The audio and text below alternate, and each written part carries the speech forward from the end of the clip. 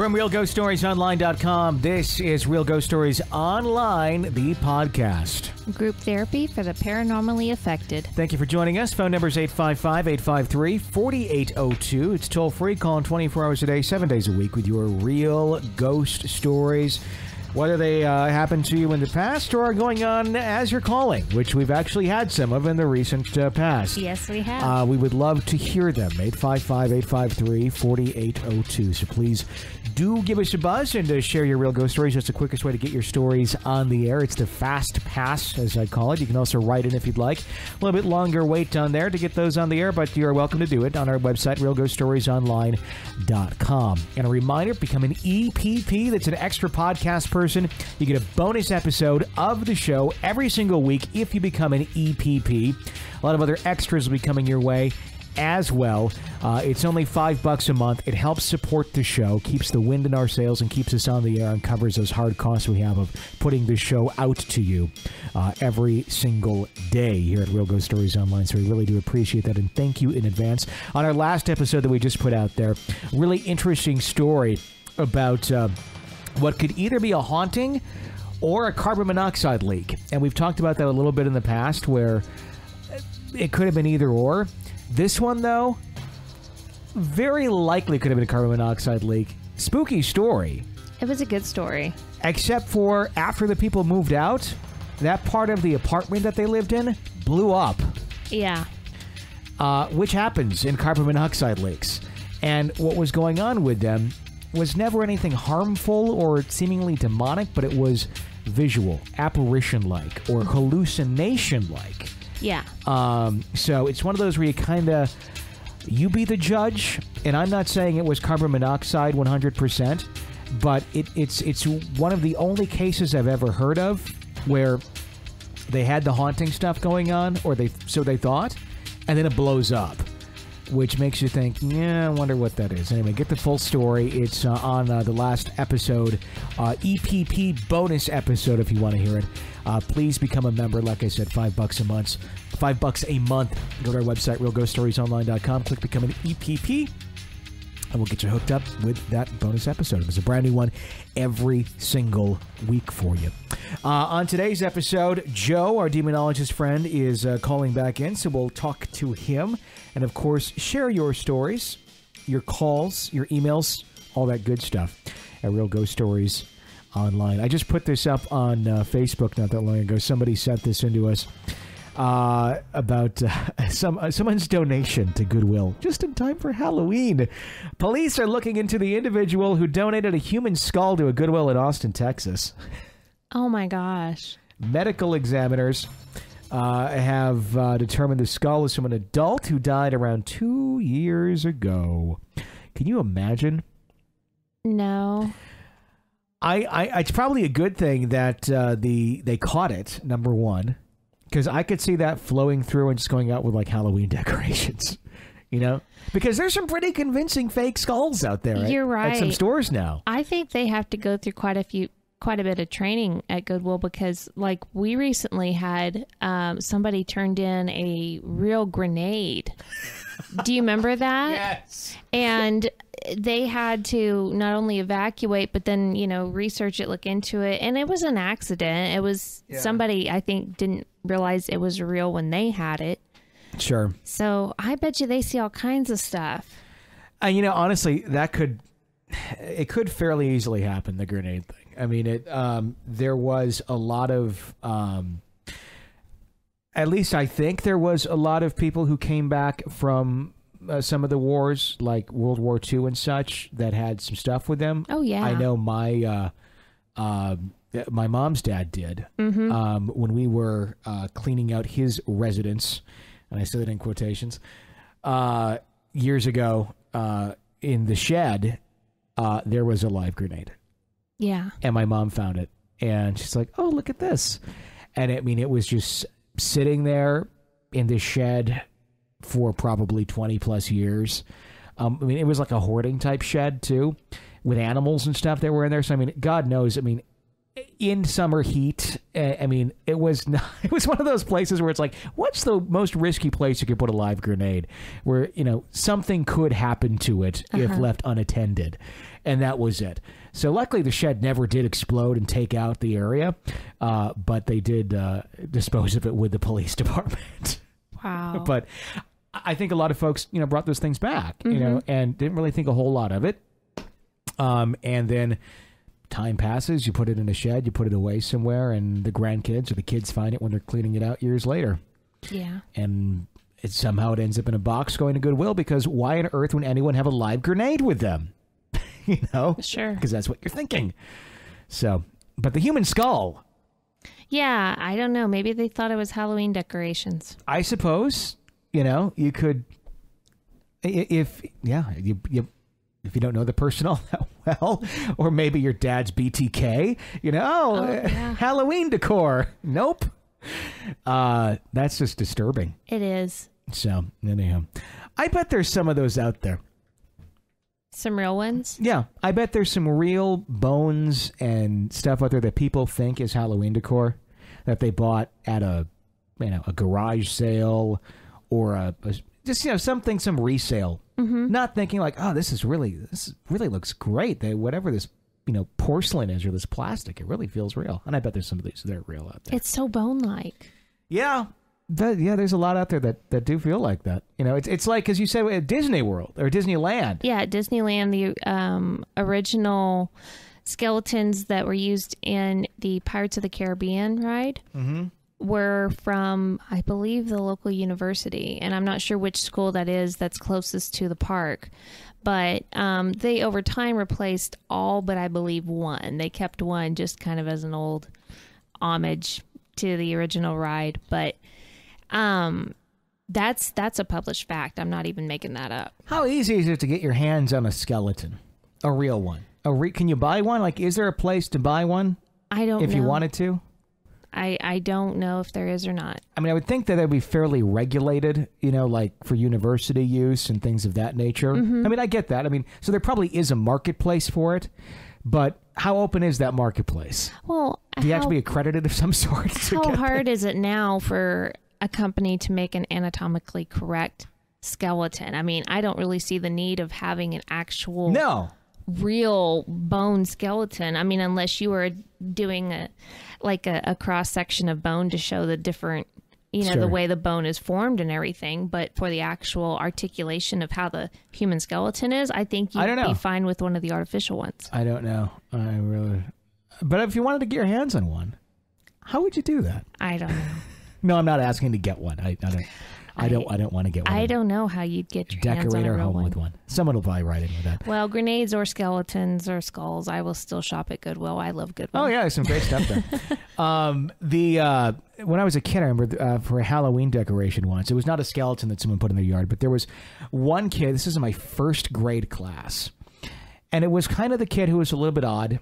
Um, he didn't. He, he was always the one that was acting up, and there, I don't think he came from a great home. I, I think there's probably a lot of you know things that were not right going on in that home with him.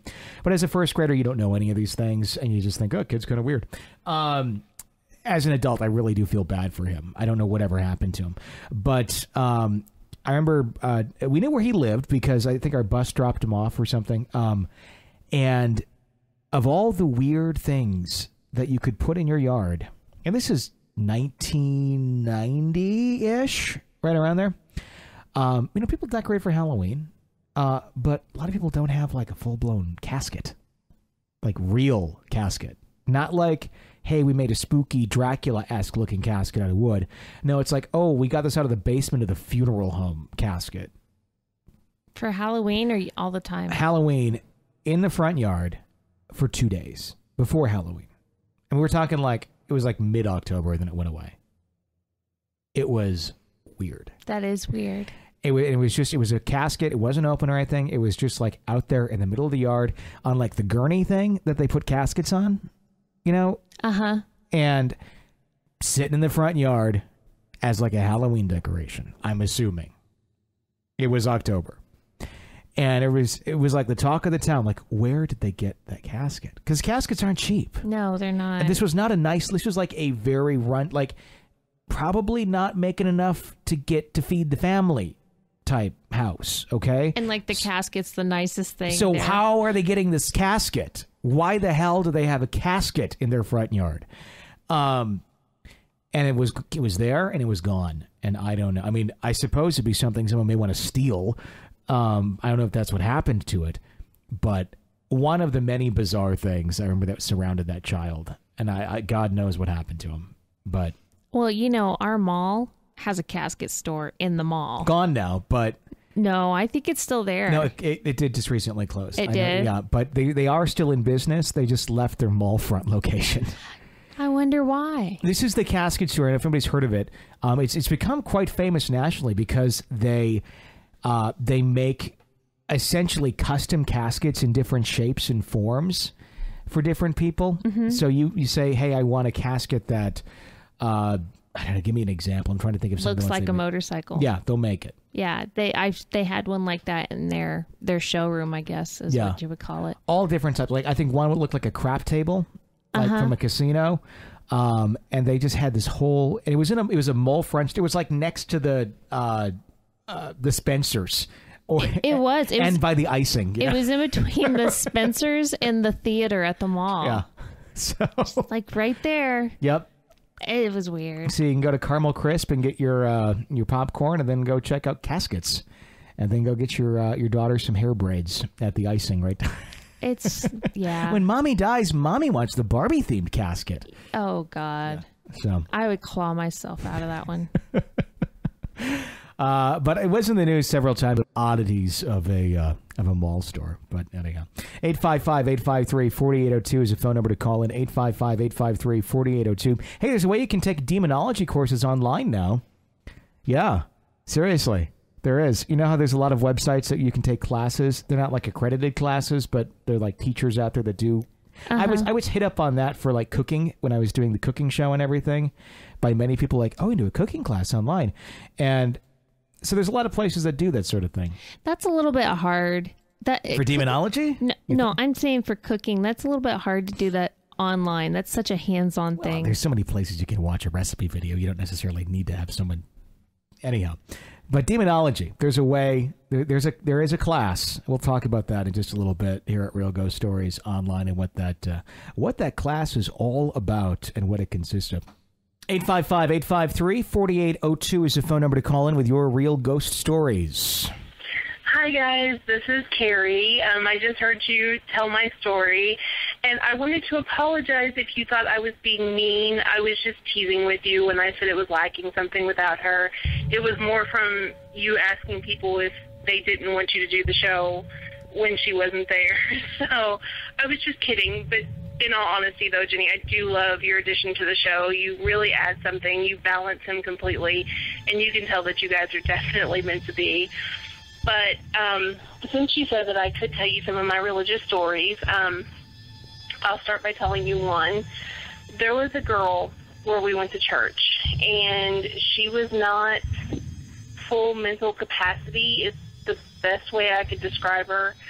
Um, but she had a very odd look to her. And the thing is, I don't know if she only had an odd look to me or if other people see this. Um, this is actually a question that I would love for you to pose to the uh, psychics that call in, the mediums. Um, there are times when I see people and they don't look right to me. this is going to sound like I'm mental. They almost look like corpses um, in the way that their skin looks very translucent, almost grayish. Sometimes their gums look grayish black to me, and their eyes look very vacant. And um, I've only seen this on probably a handful of people, and I almost describe it as being soulless. That's probably not an accurate term, and it's maybe it's demon possession. I don't know, but I am able to see it, and it's extremely scary. Um, but back to what I was saying, there was a girl that I went to church with who had this look to her, and she was extremely obsessed with my mom. And my mom was a good Christian lady. You know, she taught Sunday school. She was a wonderful person. And this girl would come up to her and would grab onto her and like get this eerie looking grin on her face and just like squeeze onto her to the point of leaving bruises um, one day she did this, and I just came up and grabbed her hand and pulled her hand back. And when I touched her, it was like touching marble. And as I found out later, um, it felt like touching a corpse. So it was a very odd experience to me. But anyway, this girl became obsessed with my mom, and she would try to give my mom things to take home with her, gifts, and I would never let my mom take them. We would always end up throwing them out the car on our way home from church um, because I didn't want to bring anything from her into our home. And, you know, this continued on for quite a while until finally um, her and her stepfather, who attended the church, left. And we hadn't seen them in a very long time. Uh, it was probably maybe a year later. We had went to a different church to visit for a revival, and they showed up. And this girl still had these problems. And if you heard that in the background, that was not an EVP. That was my chihuahua coughing. um, but anyway, so we went to a revival at this church, and her and her stepfather showed up again. And um, again, she clung on to my mom really bad. And one of the uh, preachers that were there that day came over for some reason and just laid his hands on this girl and started rebuking her. And again, if you're familiar with the Pentecostal religion, that's what we do. And so he started rebuking her, and my mom had her hands on her and was praying for this girl, and all of a sudden, this girl starts convulsing. And I, for the look of panic on my mom's face, my mom was a registered nurse. I think she thought she was having a seizure. And all of a sudden, she throws her body forward and opens her mouth ridiculously wide. And this pink ball of, well, I thought it was gum at first uh, when I saw it, but it was bigger than any wad of gum a normal person would have in their mouth came flying out of her mouth, hit the church floor, and then just disappeared. Well, my mom gets up, grabs a tissue. She's going to pick up this wad of gum off the floor because I was not the only person that saw this. And it was absolutely gone. It, there was no way that it, it was like bubble gum pink, but it was probably the size of like a baseball. So there's no way that that was a wad of gum that she had in her mouth. But we were all so stunned by what just happened that we weren't thinking at the time. And this girl just slumps forward and, like, goes to sleep. And then all of a sudden she wakes up and she's looking around completely confused. She has no idea what happened. And it was like a totally different person her skin didn't look the same to me. She didn't have that corpse look to me. Um, she was obviously very confused, and it didn't change her mental capacity. She was still, you know, slightly not fully functioning, but she was different. You could tell something changed inside of her. I've not seen her since that time, so I don't know what's happened with her since but I do believe that we saw a demon leave her body that day. I fully believe that with all of my heart. Well, anyway, this was just one of my stories. I do have one that's pretty intense. I don't think most people will believe it, and I'm still rather timid on even actually telling the story. Um, so I wanted to kind of warm the waters with this one.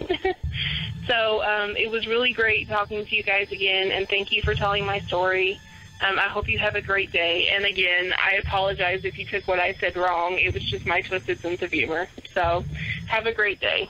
Thank you for the call. Nothing was taken wrong. We were just kind of teasing right back. So that, that's, that's totally all we do fine. is tease. Um, and by the way, uh, you're testing the waters. The water's warm. You're welcome. Uh, we're glad you're in the pool with us of uh, real ghost stories. That was a good one. And please share your other story. We would love to hear it. Um, like we said before, this there there really is no uh, story that we're not open to hearing here on the show. I mean, it, it is extremely rare that we do call BS on anything, and usually when we do, it's because the call was called in by, I know. a 12 year old, and they were obviously making, a, you know, it's an inconsistent, bizarre story that really you know Casper shows up in it or something. Or we suspect that somebody is reading a story that's been Yeah. published elsewhere. yeah, I mean, other than that, and that's like 0.001 percent of the calls we get. Yeah. So, um, other than, than those odd situations where I think most of our listeners can also feel the same way, um, we're not going to call you know bullshit on anybody's story because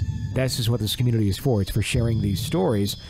Um, and and getting some you know honest feedback and and honest thoughts on what it is that that we've experienced, gone through, seen, uh, you know, witnessed, whatever the case may be. So, uh, you're not going to get judged here uh, with that, uh, whatever your other story is. So please do call back and share thoughts on this one. I think it's amazing. Um, I'm I'm very interested in in sensitive people because there's all different kinds of sensitive people, and I've never heard of one that can look at somebody and tell that they are perhaps possessed without them showing an action or, or acting as such, the way she is. So I think that's fascinating. I think that is that's a gift. I know you said it was scary, but to be able to tell anything like that.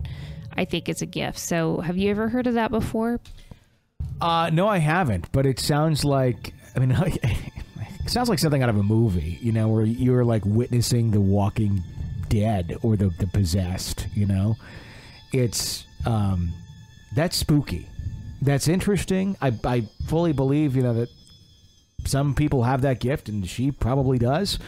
Um, eh, but that that's got to be really kind of scary because I bet there's a lot of people she sees Yeah. that are essentially the Walking Dead. Well, but she said, you know, it's only been a handful that she's seen that have have looked appeared Like that. that. way to her. Yeah.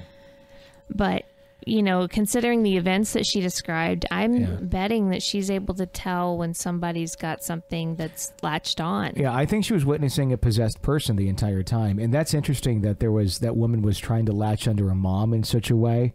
I mean, it's it sounds like the demon was taking over that girl that was for whatever reason trying to get, um, you know, in touch with her mom or make an acquaintance with her mom to get closer to her mom to then maybe transfer transfer to her mom, you know, Well, or, or, or somehow plague her mom. You know, I'm glad she followed her her gut and not letting her mom bring any of those things home that the girl tried to give her. You know, because you never Yeah. know when that stuff, you know, could be carrying something too. Yeah, I would love to get like Joe's feedback on that, Yeah, being a demonologist. Um, definitely. we do have a call from Joe, and obviously, when Joe's called today, he has not heard that story yet. But uh, Joe, I know, listens religiously, so. Um, No pun no pun intended. intended. um, um, you know, I, I'd love to get uh, get some feedback from him on that story because that's really that's one of a kind. I haven't heard anything like that. I haven't either. I want to hear more of your story, so Yeah. please call in. That was great.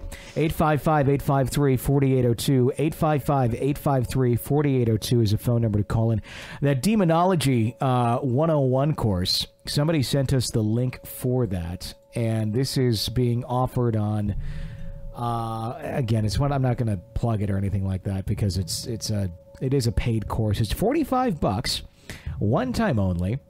And uh, it says, Welcome to Demonology 101. The fun, laid back course covers the basics of demonology, the study of demons, and is presented as an online video course with visual aids. Movie clips, evidence, and images are included. Also included is a section on how to remove severe and demonic hauntings.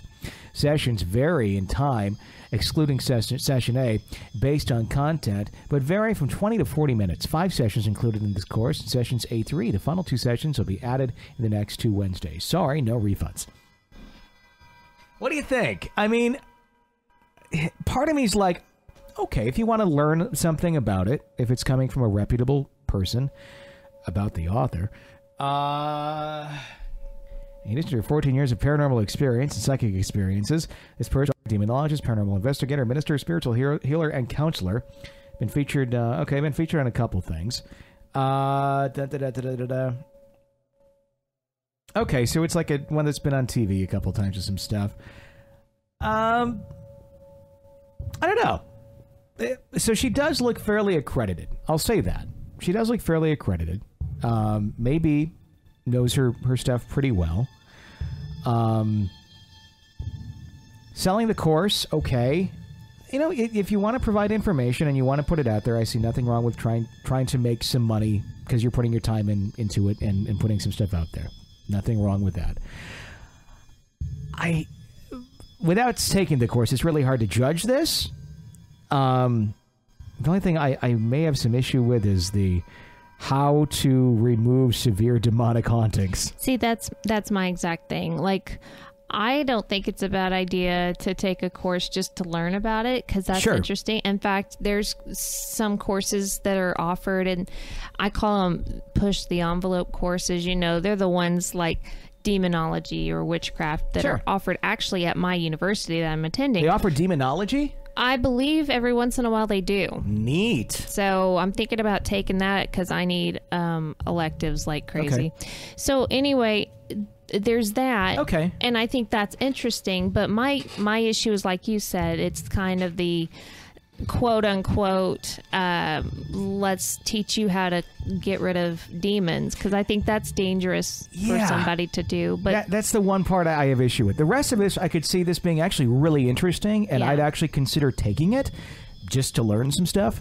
It's the we're going to show you how to remove this stuff because I don't think that somebody after taking a five-hour online course is necessarily going to be qualified to remove demonic spirits from a home. right. Call me crazy. But I don't think that you maybe are going to be a qualified individual. And and what's what's scary to me about that is this. It's one thing if you're going to take it and try and handle this yourself, which is number one, not a good idea. You know, to, to remove whatever is going on in your house, if that's what you're taking it for. The scary part about this to me is you're going to have some folks who take this course, they're going to cite it on a resume to someone as I know how to get demonic things out of your house because I took this course. See, I'm accredited. I took this course. Um, and they're going to tell other people that. And these other people aren't going to know the difference. They're not they're not going to go, "Oh, they're not going to look it up. They're not going to reference this and go, "Oh, you took the 4-hour online course and now you know how to remove demons." Right. You know, they're going to think, "Oh, this person really knows their stuff. They're accredited." They, you know. Mhm. Yeah. That that's where it can get out of control and you can get a lot of people doing that. Yeah. So, anyhow, thoughts, real ghost stories online community? I would love to hear some feedback on that. Am I overreacting to that? I don't think so. I think it's I think it's opening a box of worms or can of worms. Again, I mean, I'm looking at, and actually it shows you the length of the courses. Course number one is nine minutes.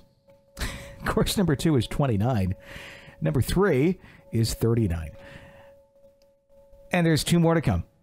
So you're you're talking less. If the next two courses uh, that are not up here yet are uh, in line with the first two, they're about 30 minutes long.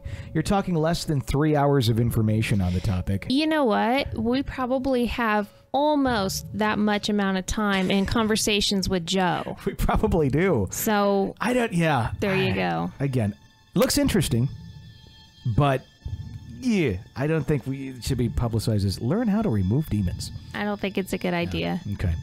Uh, thanks for sharing. That's interesting. Uh, 855 853 4802. 855 853 4802 is the phone number to call in to our show here at Real Ghost Stories Online. Speaking of Joe, he called in today. Let's listen to Joe's call. Good morning, good afternoon. Uh, Tony or Jenny, this is Joe, the Minister of Demonologist. I just want to say it touched my heart with the young lady that uh, mentioned my name. Much appreciative. The things that are being moved around um, also could be when a person's in the area, it could be telekinesis.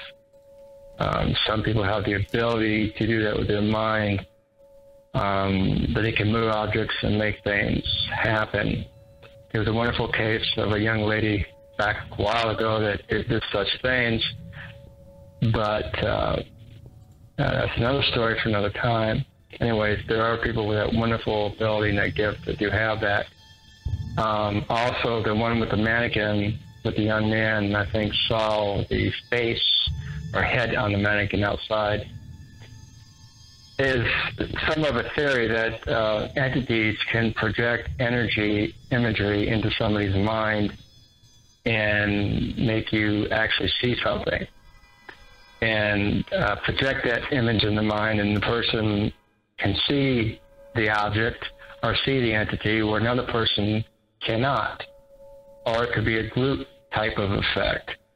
Uh, little is known on the other side of what these apparitions can do, but we do know they are doing some amazing things. And then through time and studies and um, prying into these subjects with these wonderful individuals that are doing this, um, we will find out the answers hopefully one day and be with peace with it. I had a case a while back with my investigator, Wesley Fox. Um, a young couple with some children were being attacked by a demonic entity. And one young man was 15 years old had a girlfriend. Um, uh, they had relations and had a child. Um, the demonic entity was attacking the older brother of the family and the family itself, and the youngest was five years old. Um, the couple reached out to Wesley, and then Wesley reached out to me, and I had conversations with the family.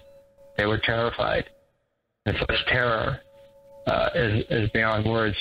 Um, so we did a Wesley went out and did an investigation. Um, we sent out a blessing kit to them.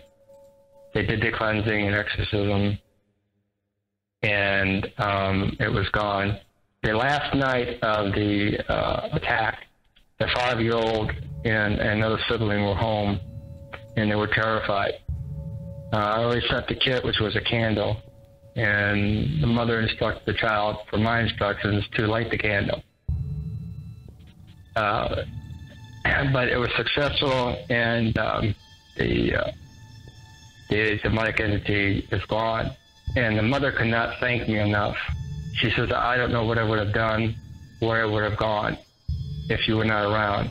Well, this is the same thing with your broadcast. Same type of situation, which very it's important. Uh, Tony and Jenny, as I said before, you guys are doing the most wonderful uh, aspect of broadcasting at this time of the century. Which I mean, you are reaching to people that have a problem and they are able to express that problem. Even if it was just to say on the air, hey, I had a situation and I'd like to express it. How good it makes them feel psychologically and spiritually that they find peace with it uh, after the event's been told. And the strain and stress is lifted off their shoulders. And they feel that others can relate to their situation. And through that common bond, we will become stronger people in this nation. And I thank you for that. As I always thank you. I'm also an EPP uh, person now. I donated uh, through PayPal $5 a month uh, because I believe in your show and I believe in you too. And Jenny, you have such a warm, touching heart with people, and they relate to that. And I thank you for caring about people. It, it's such a rare art these days that uh, people even help a stranger, as that one young lady was said.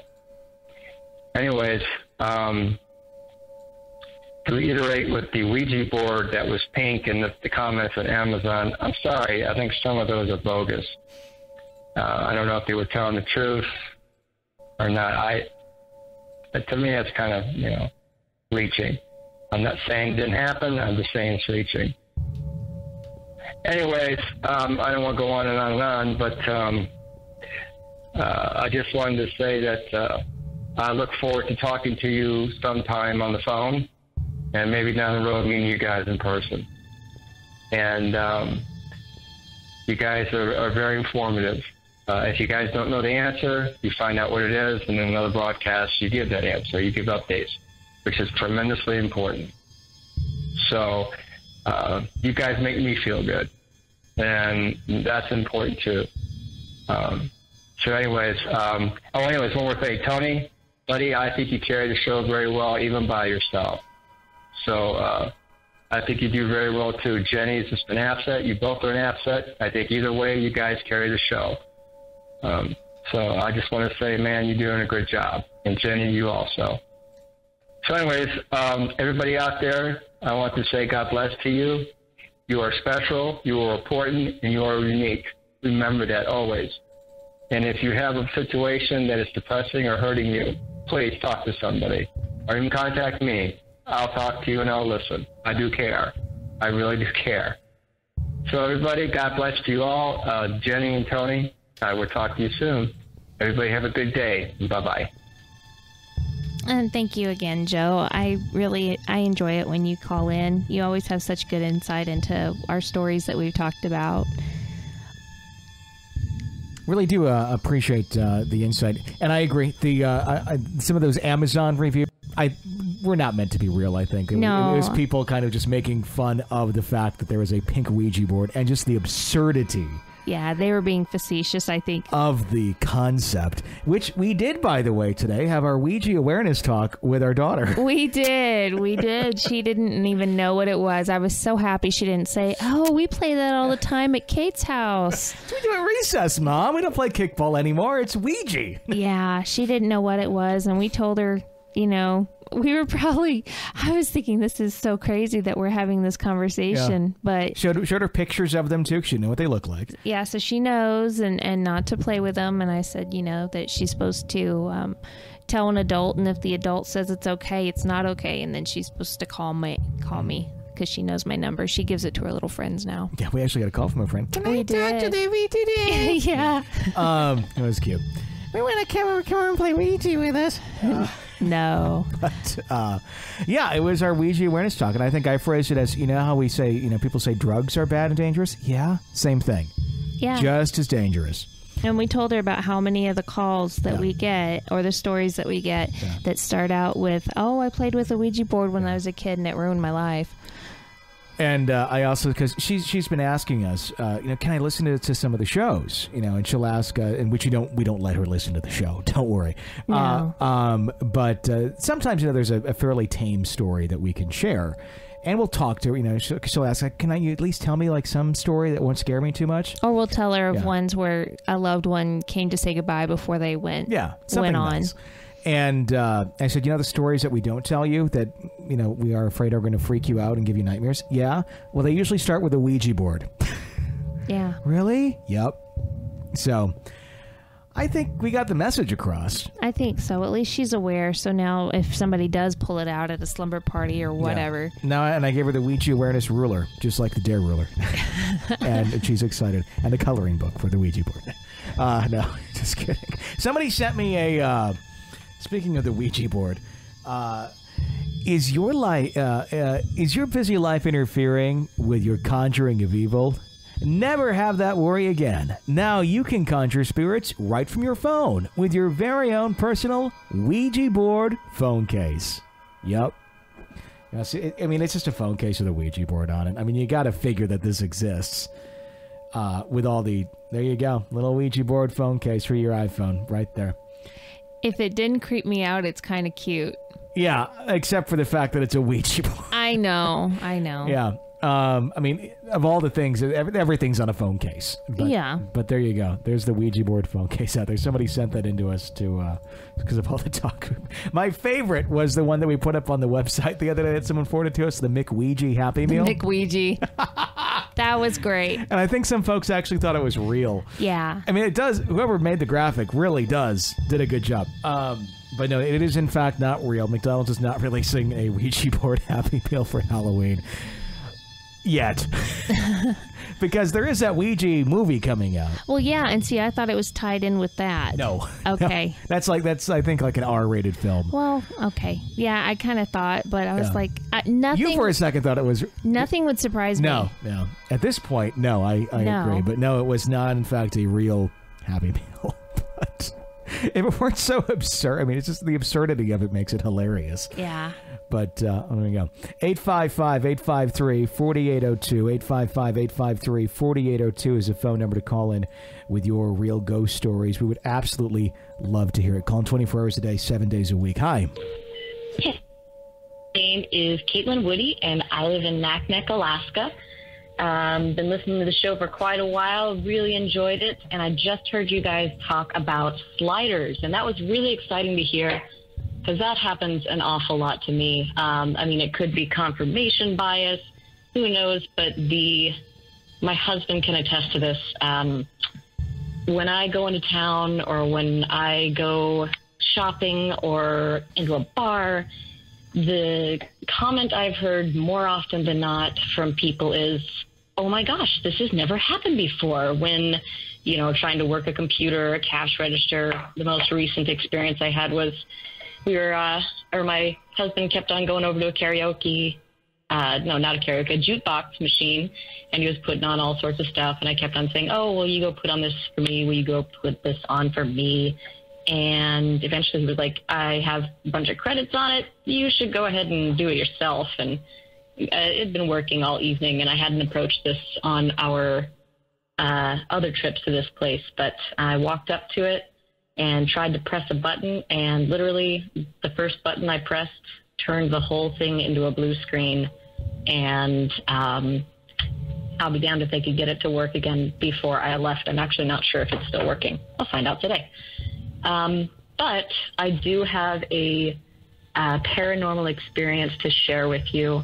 What happened was, well, this is about eight or nine years ago, and uh, I like all spooky stories. It happened around midnight, and I only remember that because Iron Chef Japan used to come on at midnight, and it was about five minutes into the show, and I'm sitting downstairs uh, with a very old cat in my lap, and she's dead asleep, and I'm watching the show, uh, and our living room kind of leads off to several different hallways, and one is just to a zigzag kind of hallway that goes to the garage. I mean, no, um, it's just dark. And as I'm watching the show, I see this corner, this hallway out of the corner of my eye, and I see a light about four or five feet above the ground. And it stayed for about one second, like that long. I was able to look over and see it, and it kind of paintbrushed uh, about a foot down. It went back and forth, and then it just disappeared. And I would have just shirked it off, but that old cat in my lap just sat bolt upright. Her back was to that area, and she just sat up and would not stop staring at that spot down the hallway. And I got really spooked. Um, and I just sat there paralyzed with the cat for a while. And um, eventually I turned off the TV and I kept the light on and I walked a different way around that hallway to go upstairs. And uh, several days later, I mentioned it to my mom, and she said, "Oh my gosh, I've I've seen the same thing there." And my dad usually wakes up uh, for an hour between three and four in the morning. He wakes up, he reads some, and then he goes back to bed. Uh, that's just his kind of thing. And he said he had seen it as well. So uh, one night, my mom, who is very straight laced, I mean, she isn't woo woo by any means, uh, not particularly sensitive, but um, but she stood at the top of the staircase overlooking that hallway, or not overlooking, but you can see into the hallway, and she said, uh, Spirit, I mean, I we know that you don't mean any harm, but we need you to leave. You're scaring us, and we hadn't have any problems until one day um, my mom fosters kittens.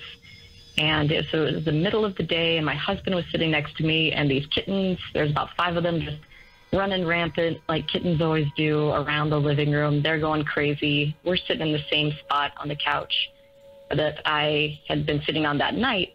And all of a sudden, like we didn't see anything, but all of a sudden, like the kittens from all over the living room just stopped and uh, walked to that spot in the hallway and just looked up.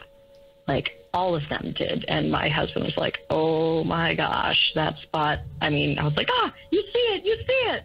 So that was really exciting. But um, anyway, that's my story. I'm really excited to have a, uh, a word for my uh, inability to be around cash registers and computers and new things like that. But um, you guys do a great job. Thanks a lot and have a great day. Bye. Thank you for the call. That's that, that sounds like an extreme slider case. Yeah, it Taking really out does. cash registers and jukeboxes. Uh huh. Uh, yeah, that's interesting. Uh, But there's a lot of folks who have that. Yeah. and it's uh, it's just kind of like something you got to live with almost. I, I've never heard of any like um, cure for that, for lack of a better term, or solution for that. You know, but um, It sounds like it it could become a rather difficult thing, especially if you were like were to work in an office environment or something on computers or electronics frequently. I could see that interfering with the job quite a bit. Yeah, I mean the copy machine on the fritz. That's frustrating for somebody that doesn't have the Yeah. slider ability. That could be uh, uh, an issue. I wonder if anyone out there, any of our listeners, uh, possess that and uh, actually do have trouble in the workplace. Can you imagine trying to explain that one to a boss? you don't. You don't get it. I'm a slider. Oh man. Really? I mean, that's where it's like, okay, we're gonna have to call HR and uh, see how that conversation goes. Yeah. At least you can listen to this show and find some solace and uh, and comfort knowing that we believe you.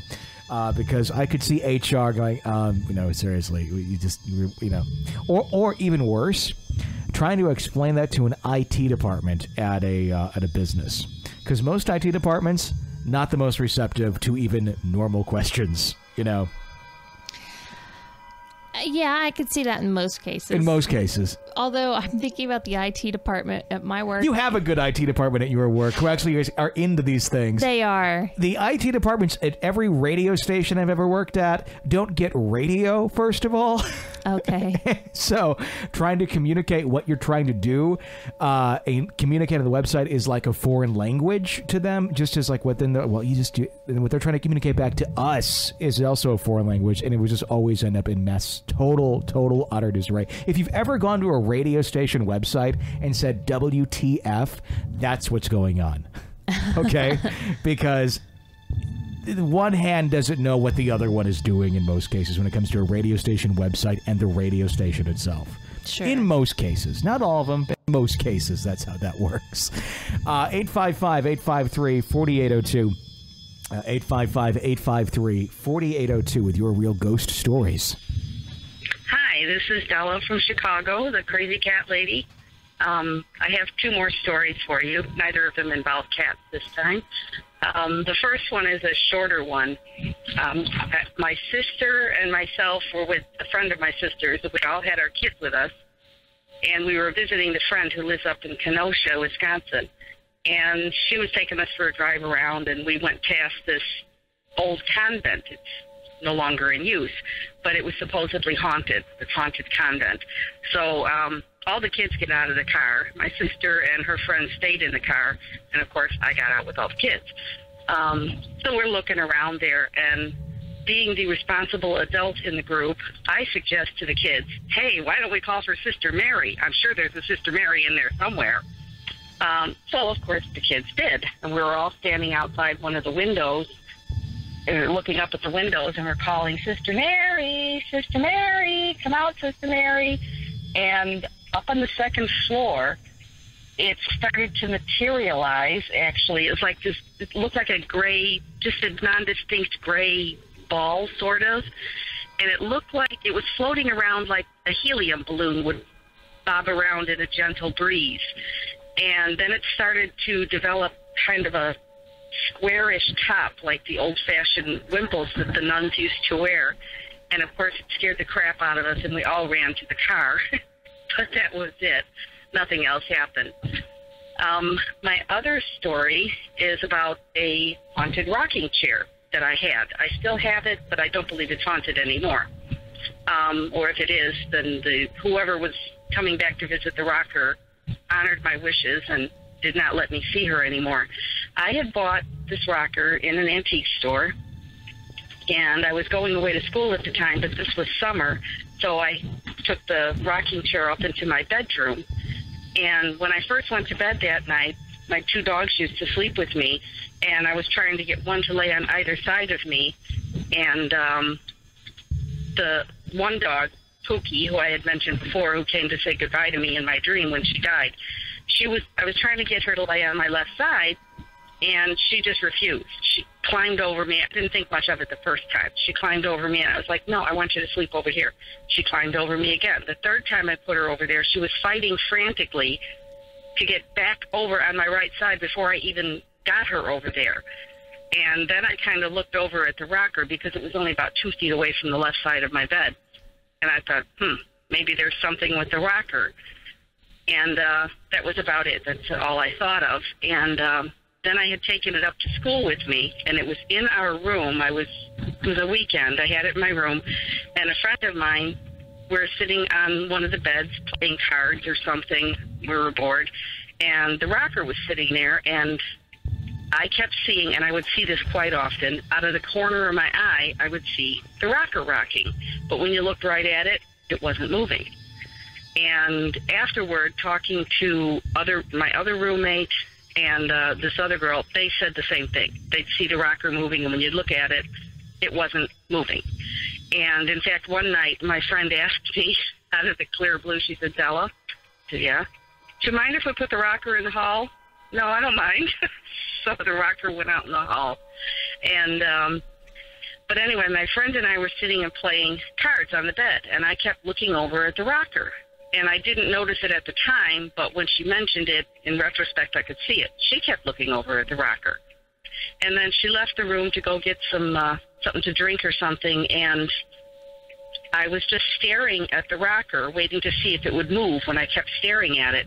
And it did not move. However, I saw it started to, again, like materialize kind of, not a full figure, but it was just like the, from the top of your head on down the back, like where your hair, it was a woman's figure. It looked like long hair flowing down, you know, and just this white, misty kind of outline going down someone's back. And it scared the crap out of me. And I, I froze for a second, and then I started to talk to the rocker. I said, well, to whoever was in it, and I said, you know, I know you really loved this rocker, but I really like it now, and it's mine. I will. Pro- I promise I will take good care of it, and you're welcome to come and visit it, but not when I'm around. I don't want to see you again. And that was it. And then when my friend walked back in the room, I had got done, just got done talking to the chair, and she looked at me. and She was, "Oh my God, you look like you've just seen a ghost." And I said, "I think I have." And that's when she said, "The rocker," and I said, "Yeah." So anyway, those are my two stories, and I still have the rocker, and I've taken good care of it, and I've enjoyed many good years of use out of it. It needs to be reupholstered now, but um, if she has come back to visit, she's honored my wishes and not allowed me to see her again.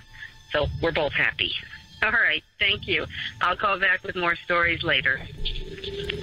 Nothing like having to reason with a ghost to stay away from your furniture. Yeah, shared custody on a rocker. That's why you should just get the ones from Cracker Barrel. There you go.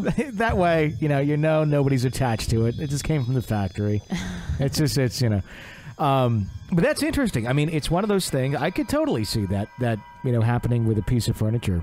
You know, Sure. that's that's well loved, well used, and uh, something being attached to it. And that's that's interesting that it, it did respect her wishes.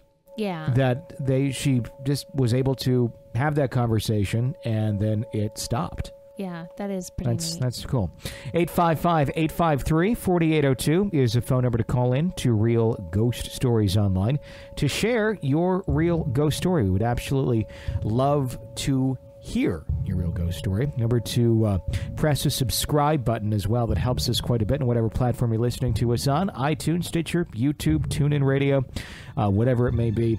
Uh, you pressing subscribe ensures that you get the latest episodes of our show sent directly to you as soon as they are released. Hi. Hi, Tony. This is uh, Mitch from Rock Hill. I'm actually calling in regards to the. You were asking about any more stories about uh, cemeteries and people being buried alive. Um, there's actually a story that I remember that I read in More Scary Stories to Tell in the Dark, or one of those books that I used to read a lot when I was a kid. Uh, the story I actually got was that there was a husband and a wife and the wife got really sick and she uh well they thought she died uh doctor um uh the doctor said that she was dead and that uh so she was ended up being buried uh and that night the night of right after her funeral uh gravedigger came in and dug up the casket and went to take off her rings because she was buried with all of her jewelry. Um, and ended up they couldn't get the ring off of her finger, so they they grave robber took his knife out and tried to cut the finger off. Uh, and what I remember from the actual story is that they did cut the finger off, and the pain from cutting the finger off woke her up. Uh, she had actually been in a coma. And so she woke up, got out of the grave, and ended up stumbling home. And it caused the, in the story, the grave robber saw this corpse wake up and stand up and walk out of the grave. And so they panicked, ran, tripped over, and ended up stabbing themselves with the knife. Um, I don't know how much of the grave robber side is true, but I do remember reading an article somewhere about how the actual story of that woman being buried alive and then a grave robber saving her, like digging up the grave, actually being true. Um, I can leave a link to the article as soon as I can find it on your Facebook profile. But I was actually just calling to let you know that there was another story of somebody being buried alive and actually being woken up uh, and being saved from being buried. Uh, and it is actually a different story than the one about the groom or the groom to be trying to get his ring back. Uh, anyways, I enjoy the show. I love listening to it every day. Um, thank you. Thanks for the call. I think I remember those books. I do. Remember getting them where they was like one was pink and one was blue, and like one was scary stories to tell in the dark. The other one was more, scary scary stories to tell in the dark. Uh-huh. They were from the Scholastic Reading Program, I believe. Yep. And I remember ordering them on book order in like fourth grade or something. Yep. I remember those. They were good. They were very good. Yeah, I remember. Yeah, reading those. I think there's like, ones like I had sitting in my desk for like years, and then I finally like just read them, I, and I, I put it off because I don't remember. There were, I don't think there was pictures in them. It was just stories. Oh, did you need illustrations? I did. I like pictures. I like my pictures, All right. as as our two year old would say. Yeah. Um, and then I finally read them. and went, These are great books. And then I really wanted more, and that's I See, think the ones just with the just words are good too. What's that? I said the ones with just words. Just words. It had big words in them though, like uh, Malevolent. malevolent. and since I only wanted the picture books, it uh, has taken me till uh, my mid 30s to learn how to say the word out loud. Uh, 855 853 4802 is the phone number to call into our show. Hey, uh, Tony and Jenny, it's Rube again. Um, I called you guys a few days ago and left you a story about uh, my brother and uh, the phantom car hitting the fence and all that. Um, I was listening to another one of your episodes right now, and the recent call about the Alzheimer's unit and the nurse there uh, really got me thinking that, well, I've got a whole slew of things that have happened at the facility that I worked at for five years. Um, I'm also a nurse, and I worked a. Uh, oh, I, I used to work at times a night shift, uh, so from 11 to uh, 7:30 um, throughout the night into the early morning um, at a psych facility. Uh, it was a small hospital, and um, we have had quite a few things happen there. Uh, some I was there to witness, and others uh, I had kind of heard about through the, the staff and also the surrounding uh, circumstances. So I'll, explain that in just a minute. Um, we, I think the the most, one of the most interesting things that has happened at that facility. Uh, it used to be a hospital, so there were many patients there who I presume had died at that facility. Uh, it used to be like a, a standard medical hospital where they performed surgeries. Uh, it's an old building, uh, and then it was later converted into uh, a psych psychiatric facility, which it's been for now probably upwards of 25 years or so. Um, but uh, one of the things that would happen, and I, I, I guess I'll start with this because to me it's the most freaky. Uh, but we would get phone calls from the police, and they would say, uh, "Hey, we're getting a, a, a 911 call from this line, and you know, uh, can you look into it? Is it one of your patients? Is there an emergency? Uh, it's a little girl, and and she's saying she needs help. so we would, I mean, we would get the information from the police. Okay, so it was this extension that was calling 911. That extension is part of one of the uh, arts and crafts rooms that we have in the hospital that's only used during the daytime. So uh, there is no way that anybody could have gone into that room and dialed 911 at the times that the police were uh, saying that it was happening. Um, that she would identify herself as Satana.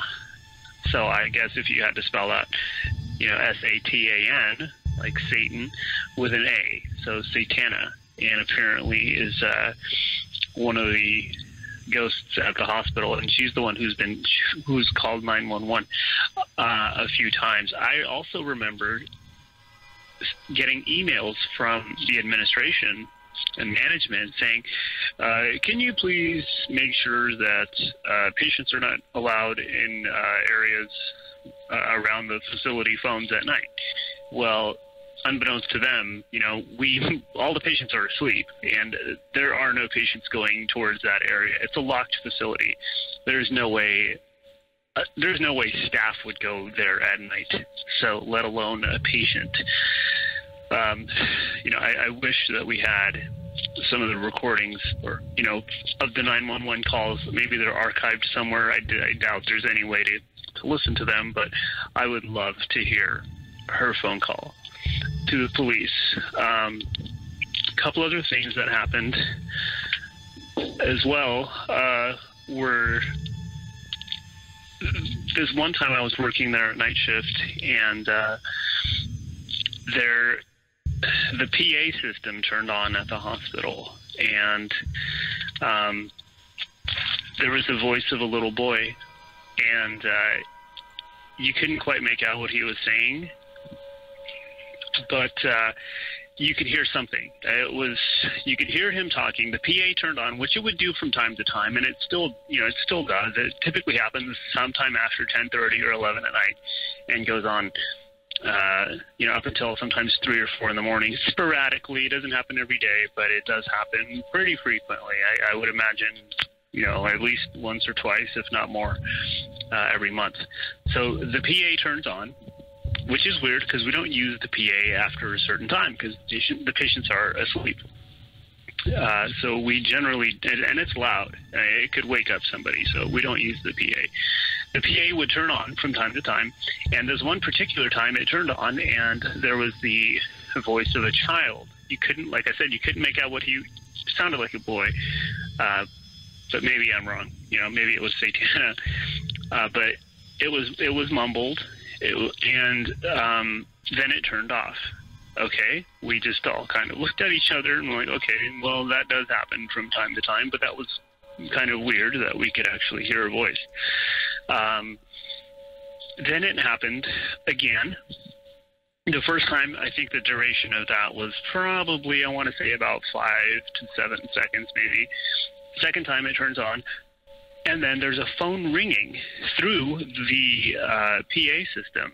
So, and you know, we have, of course, no idea where this is all coming from because uh, it's actually impossible to turn on the PA and then make an outgoing phone call through the use of the PA itself. Uh, at the hospital, you pick up the phone, you dial two numbers, uh, seven seven, and then you have access to the PA. Uh, again, we don't use it at night, and once you hit seven seven, you lose a ringtone so there, or I'm sorry, a dial tone, and there's no way that you can make an outbound call. So we checked every phone in the facility, which didn't take that long because it's kind of a small hospital.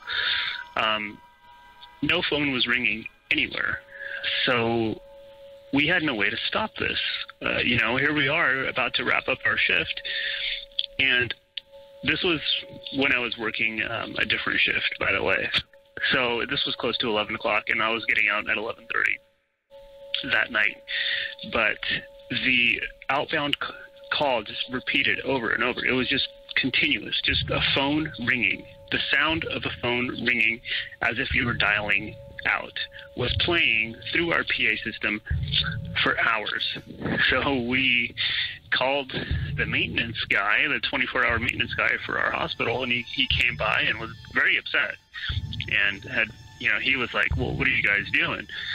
Who's playing the joke? You know, it's no time to be messing around. And we're like, with all due respect, uh, we wouldn't be joking around to this extent, you know, to where you, we'd have to call you out here at this time.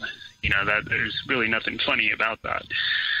Um, so he was baffled. Uh, he was able to turn the volume down so it wasn't as loud, but he had no way of uh, figuring out how to turn it off. So um, it continued until right before management came in the next day, and they typically started rolling in at about 7 a.m. Because I came to work the next day, and I had asked the uh, the shift that was getting off. I was like, "Did you guys experience the phone call thing?" They're like, "We heard about it, but apparently it stopped on its own uh, sometime right before seven o'clock in the morning."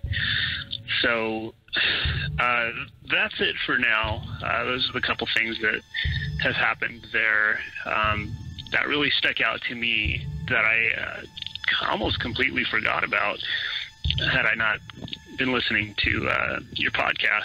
So, anyhow, I will uh, let it go from there, and I think I've got a couple other ones that I'd be willing to share.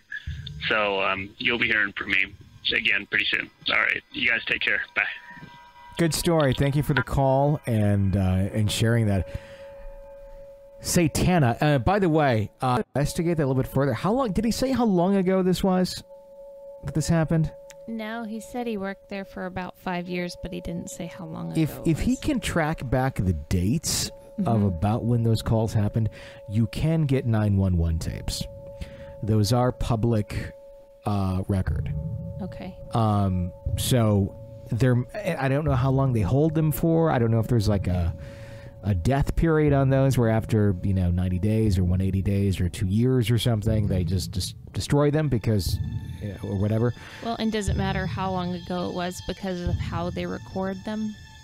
I mean, I don't know. I mean, they used to just do reel to reels. Now everything's digital. right. Um, but those are all recorded. So if they're not, if they have not been destroyed because it's been so long, uh, there may be a way to ach- to arch- get that out of an archive. But you would need to no- narrow down the date, narrow down the time of the call, um, and there's probably a fee or something involved. But um, there may be a way to do that. That'd be really interesting to hear Mhm. if he cares to dig that deep into that.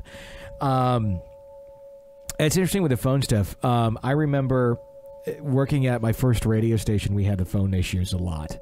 I'd be in there at night, no one's there, and you would see solid desk lines light up from within the sales department of the office. And you like when someone's on a sales line, it's just a solid. If it's ringing in, it just blinks because it's and that would happen. People will call numbers. Sure. But when the line is solid and our phone system was not super advanced, you could see every phone line in the building from any phone. Um, it would just be as solid as if someone was on the line within the the building and there's no one there. And it would happen all the time. Like multiple lines would light up. There was times where like every single sales phone looked as if someone was on the line at 10:30 at night. That's crazy. And you're the only person in the building. This is a building with the underground railroad in it. Yeah. So, yeah, that, I had a lot of weird things with the phones there. That was that was one of my things. Is I witnessed the phones go kind of crazy. But there you go. Thank you for the call. Thank you for the story. We really, really do appreciate it. And if you have a real ghost story, please call in 855 853 4802 to share it with us here at Real Ghost Stories Online. Uh, so there you go. I think that uh, that wraps up uh, today's episode of Real Ghost Stories Online. A little bit uh, longer than an hour, but oh well. It was it was good stories today. I don't know that they'll complain that we I- I went don't too think long. Anybody complains? No, not at all. Which is good. That's good. Yep. And we enjoyed it too. So, hey, if you've not done so yet, please become an EPP. That's an extra podcast person. You get an extra episode of the show every single week, in addition to all the free ones that we put out there. You get an extra one, uh, as well as some other extra stuff that we're going to be putting out throughout the years. Uh, it's only five bucks a month, and it's a way that you can help support our show and keep it going. uh, because of the hard costs involved with this. Uh, your support really does make this show possible. So five bucks a month. If you enjoy the show, you listen to a couple episodes. Throw a little money in the uh, the till if you would, and uh, help us uh, stay alive. You can get into that on our website, realghoststoriesonline.com. Click on the EPP, become an EPP and uh, and donate, and you'll get those extras as a uh, well, thank you from us here at Real Ghost Stories Online. So until next time, for Jenny Brueski, I'm Tony Brueski. Thanks for listening to another episode of Real Ghost Stories Online.